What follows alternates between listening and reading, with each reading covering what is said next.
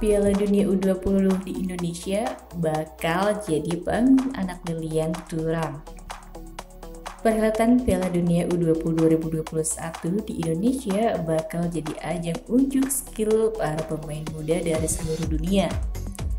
Event yang bakal berlangsung di enam provinsi di Indonesia ini juga bakal diramaikan dengan penampilan anak-anak legenda sepak bola dunia.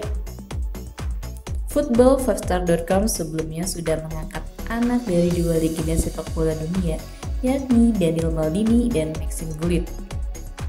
Selain dua nama tersebut, Piala Dunia U19 2021 di Indonesia juga bakal kedatangan anak laki-laki legenda Prancis, Lilian Thuram yakni Kepren Thuram Olien. Kepren adalah adik dari Marcus Thuram. Tidak seperti sang kakak, Kepren berposisi sebagai gelandang bertahan. Penampilannya beberapa tahun terakhir mulai mendapat sorotan publik Prancis. Dikutip dari data Transfer Market Sabtu 31 Oktober 2020, Keprin saat ini berstatus sebagai pemain nice setelah direkrut dari AS Monaco pada Juli 2019 dengan status bebas transfer.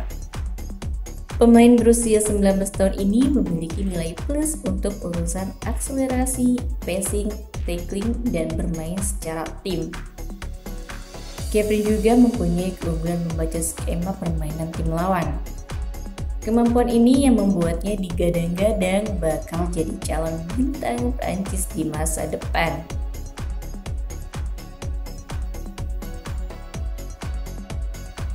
Yang juga menarik dari seorang Kevin ialah kanannya. Beberapa kali saat bermain untuk Monaco, ia mampu melepaskan sepakan terukur dengan kaki kanan dari luar kotak penalti lawan. Tak mengherankan jika pelatih U20 Prancis, Gianluc Vanucci memanggil nama Keprin untuk melakukan pemusatan latihan jelang Piala Dunia U20 2021.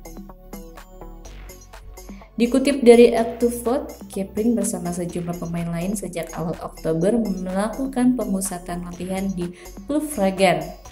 Keprin nantinya akan bersama sejumlah pemain muda Prancis lainnya menopang lini tengah tim ayam jantan di Piala Dunia U20 2021.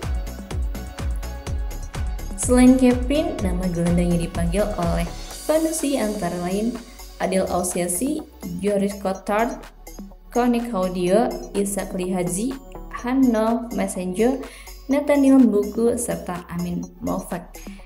Nah itulah sobat bola berita yang football 5 star sajikan.